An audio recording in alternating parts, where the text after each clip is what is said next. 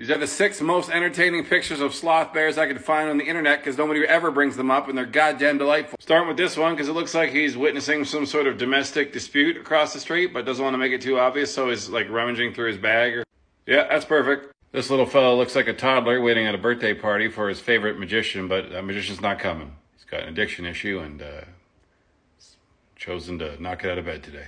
This is your drunk aunt who uh, usually has one too many Coors Light at the family barbecue, but she does have the ability to put on lipstick without taking the cigarette out of her mouth. This one is my dad, watching any sports event ever. And this one's your mom, just handing it out.